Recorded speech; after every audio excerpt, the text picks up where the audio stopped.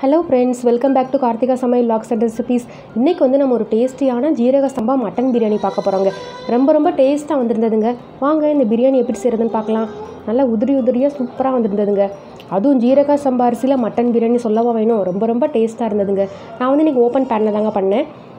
உங்களோட லஞ்ச் வந்து அன்றைக்கி மட்டன் பிரியாணி சிக்ஸ்டி ஃபைவ் எக்கு மட்டன் குழம்பு. ஆல்ரெடி மட்டன் குழம்பு சிக்ஸ்டி ஃபைவ் ரெசிபிஸ் போட்டிருக்கீங்க. நீங்கள் சேனலில் போய் செக் பண்ணி பாருங்கள் இப்போ வாங்க எப்படி செய்கிறதுன்னு பார்த்துடலாம்.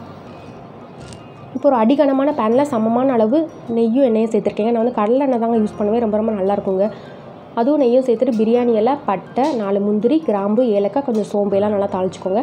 அதுக்கடையில் வந்து நான் ஜீரக சம்பாரசியை நல்லா கழுவிட்டு ஒரு டுவெண்ட்டி மினிட்ஸ் ஊற வச்சுருக்கேங்க. மட்டனை வந்து ஒரு ஆறு விசில் வச்சு எடுத்துருக்கேங்க. இஞ்சி பூண்டு பேஸ்ட் மஞ்சத்தூள் சேர்த்து. இன்னும் ஒரு முக்கால் பதத்துக்கு வெந்து எடுத்துருந்தோங்க அதுக்கப்புறம் நம்ம தம் போடுறப்ப நல்லா வெந்துருங்க. இப்போ இது எல்லாமே நல்லா புரிஞ்சதுக்கப்புறம் நான் மூணு பெரிய வெங்காயம் சேர்க்கணுங்க. நான் இதோட அளவு வந்து மூணு சின்ன டம்ளரோட அளவுங்க.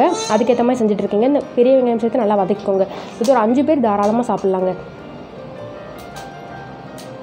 ஸோ வெங்காயம் வதங்குறதுக்கு தேவையான அளவு உப்பு சேர்த்துக்கோங்க. இந்த டம்ளர் தாங்க இந்த டம்ளர் வந்து மூணு டம்ளர் ஜீரக சம்பா அரிசி எடுத்திருக்கேங்க. குறைஞ்சது அஞ்சு டு ஆறு பேர் வந்து நல்லா தாராளமாக சாப்பிட்லாங்க. வெங்காயம் வதங்குறப்பயே கொஞ்சமாக புதினா சேர்த்துக்கிறேங்க. சேர்த்து வதங்குறப்ப ஃப்ளேவர் நல்லா இருக்குங்க ரெண்டு பச்சை மிளகாய் சேர்த்துருக்கேங்க. வெங்காயம் வந்து நமக்கு வந்து லைட்டு ப்ரௌன் கலராக வதங்கணுங்க. அப்போ தாங்க டேஸ்ட்டு சூப்பராக இருக்கும். பிரியாணிக்கு மட்டும் ஒன்று ஒன்று பொறுமையாக வதக்கி விடுங்க அப்போ தான் நமக்கு வந்து டேஸ்ட் நல்லாயிருக்குங்க. அதுக்கப்புறம் வெங்காயம் வதங்கும். இஞ்சி பூண்டு பேஸ்ட் சேர்த்துக்கிறேங்க. நான் வந்து மூணு டீஸ்பூன் சேர்க்குறேங்க. இப்போ இஞ்சி பூண்டு பேஸ்ட் சேர்த்துட்டு அதோட பச்சை ஸ்மெல் போகிற வரைக்கும் ஒரு டைம் நல்லா வதக்கிக்கோங்க. இப்போ நான் மூணு தக்காளி எடுத்திருக்கேங்க. இதை வந்து நல்லா அரைச்சி சேர்த்துக்கோங்க. அரைச்சி சேர்க்குறப்ப பிரியாணியோட நமக்கு சாப்பிட்றப்ப நல்லா மிக்ஸ் ஆகி டேஸ்ட்டு சூப்பராக இருக்குங்க. இப்போ தக்காளி சேர்த்து நல்லா கலந்து விட்டுட்டு தக்காளியோட பச்சை ஸ்மெல் போகிற வரைக்கும் வதக்கி விட்டுக்கோங்க. இப்போ பார்த்தீங்களா தக்காளியும் சூப்பராக வதங்கி வந்துருச்சுங்க.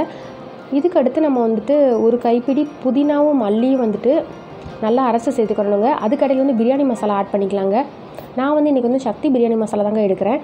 இது வந்து அறநூறு கிராம் மட்டன் இருக்குங்க. அதனால் வந்து நான் அதில் வந்து முக்கால் பாக்கெட் சேர்த்துக்கிறேங்க கரெக்டாக இருந்ததுங்க அந்த மெஷர்மெண்ட்டு அது வந்து ஒரு கிலோ பாக்கெட்டுங்க நான் அதில் வந்து ஒரு முக்கா முக்கால் அளவுக்கு சேர்த்திங்க. சூப்பராக இருந்ததுங்க. ஸோ சம அளவு மட்டனும் அரிசியும் சேர்த்திங்கன்னா நமக்கு வந்து சூப்பராக இருக்குங்க. பிரியாணி. இப்போ மசாலாவோட பச்சை ஸ்மெல் போனதுக்கப்புறம் ஒரு கப் தயிர் சேர்த்துக்கலாங்க. தயிர் சேர்க்குறப்ப மட்டன் நமக்கு நல்லாவே சாஃப்டாக வருங்க. புதினா வழியும் கடைசியாக சேர்த்துக்கோங்க. அப்போ தான் ஃப்ளேவர் நல்லாயிருக்குங்க இப்போ பார்த்தீங்கன்னா இதுவுமே நல்லா எண்ணெய் பிரிஞ்சு வரட்டுங்க. இப்போ தான் நம்ம வந்து ஒரு கைப்பிடி புதினாவும் மல்லியும் அரைச்சி சேர்த்துக்கோங்க. இதுவுமே அரைச்சி சேர்க்குறப்ப நமக்கு வந்து இந்த பிரியாணியோட ஃப்ளேவர் சூப்பராக இருக்குங்க. நீங்கள் நார்மலாக கட் பண்ணி சேர்க்கறதுக்கும் இந்த மாதிரி அரைச்சி சேர்க்கறதுக்கும் ரொம்பவே வித்தியாசம் இருக்குங்க. நான் இதே மெத்தடில் வந்து சிக்கன் பிரியாணி செஞ்சுருந்தீங்க. சூப்பராக வந்திருந்ததுங்க. அதோட லிங்க் வேணால் கீழே கொடுக்குறேன். நீங்கள் பாருங்கள் இப்போ பார்த்தீங்கன்னா அது ஒரு ஒன் மினிட் நல்லா வதங்கினதுக்கப்புறம் நம்ம மட்டன் சேர்த்துக்கலாங்க. ஆல்ரெடி நான் ஒரு முக்கால் பதத்துக்கு வேக வச்சுருக்கேங்க. அந்த சூப்பை தனியாக எடுத்துகிட்டு மட்டன் மட்டும் சேர்த்துக்கோங்க. அப்போ தான் தண்ணியோட அளவு மாறாமல் இருக்குங்க. இப்போ மட்டனையும் சேர்த்துட்டு ஒரு டைம் நல்லா கலந்து விட்டுக்கோங்க. அந்த மசாலா எல்லாமே வந்து மட்டனில் இறங்கட்டுங்க. ஒரு அஞ்சு நிமிஷம் அப்படியே விட்டுருங்க இப்போ பார்த்தீங்கன்னா ஃபைவ் மினிட்ஸ் வந்து நல்லா அந்த கறி மசாலா எல்லாம் சேர்ந்து நல்லா வெந்துருச்சுங்க. இப்போ நான் இன்றைக்கி வந்து தேங்காய் பாலும் இந்த மட்டன் வேக வச்ச சூப்பு தண்ணி எல்லாம் சேர்ந்து தாங்க தண்ணி அளவு சேர்க்க போகிறேன் இது வந்து ஜீரக சம்பா அரிசி வந்து ஒரு டம்ளருக்கு வந்து ரெண்டு டம்ளர் தண்ணிங்க. நம்ம வந்து எனக்கு வந்து மூணு டம்ளர் எடுத்துருக்கோங்க. ஸோ அதுக்கேற்ற மாதிரி ஆறு டம்ளர் தண்ணி சேர்த்துக்கலாங்க. ஸோ ரெண்டு டம்ளர் தேங்காய் பால் ரெண்டு டம்ளர் இந்த சூப்பு ரெண்டு டம்ளர் நார்மல் தண்ணி எல்லாம் கலந்து சேர்த்துக்கிறேங்க. கொஞ்சம் கூட அடி பிடிக்கலங்க சூப்பராக வந்துருந்ததுங்க. நீங்கள் அந்த கறியோட தண்ணி அந்த கணக்கில் சேர்க்க வேணாங்க. அது வந்து பற்றிருங்க நீங்கள் வந்து அரிசியோட கணக்கு மட்டும் எடுத்துக்கோங்க. எதில் அளந்தாலும் பரவாயில்லைங்க ஒன்றுக்கு வந்து ரெண்டு டம்ளர் தண்ணி.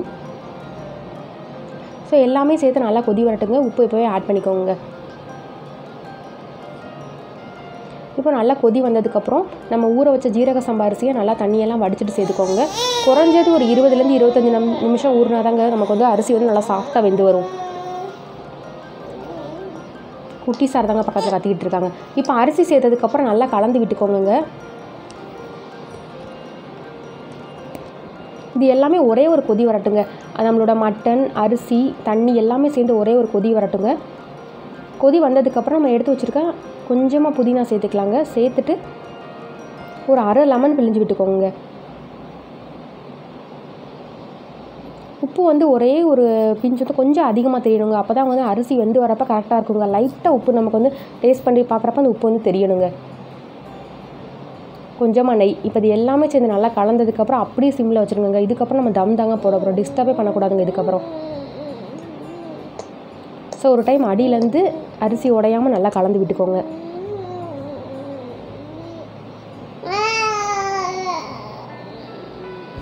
நல்லா கலந்துட்டு இப்போ மூடி போட்டு இது வந்து நான் வெயிட்டில் அது வைக்கலைங்க அடிகனமான பேன் தாங்க. அப்படியே சிம்மில் வந்து ஒரு டுவெண்ட்டி மினிட்ஸ் அப்படியே வச்சிடுறேங்க. டிஸ்டர்ப் பண்ணாமல்